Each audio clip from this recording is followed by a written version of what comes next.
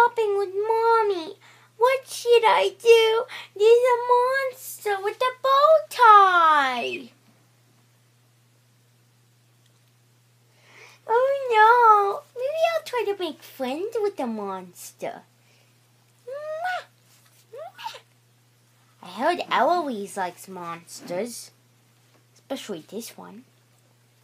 I don't know exactly what to do around monsters because I've never seen him before. But I just heard about how Eloise really likes him.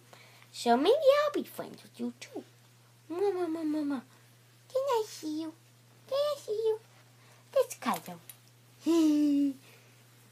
He's holding me. He's my big brother. A really big brother. Really, really big brother. Much bigger than me. He used to be little, I heard. But I don't really know that much. My name is Patti, and I was Josephine's Christmas present, so I don't really know exactly what's going on around here because, you know, it's a big new place and I don't really know my way around yet. And yeah, he's scratching himself. Scratching his leg. Let's not look at that. Kippy!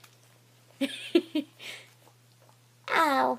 Well, I'm Patti. I'm I'm three years old, and my full name is Patricia, but you could just call me Patti. Um, I was named after Josephine's mommy, and I really like school. I really like school, and I am very excited to join this family and I was a Christmas present, like I said, so so I'm very new, and so yeah.